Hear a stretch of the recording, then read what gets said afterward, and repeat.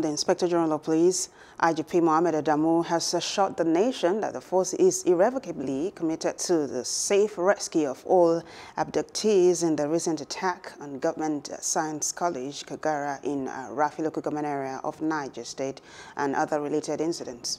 The IGP said that a joint massive search and rescue mission involving the police, the military and other law enforcement agencies is ongoing to ensure that all abducted persons are rescued and hurt and reunited with their families.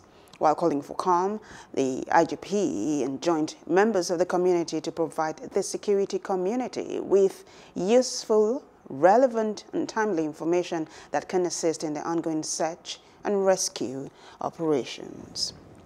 Hello, hope you enjoyed the news. Please do subscribe to our YouTube channel and don't forget to hit the notification button so you get notified about fresh news updates.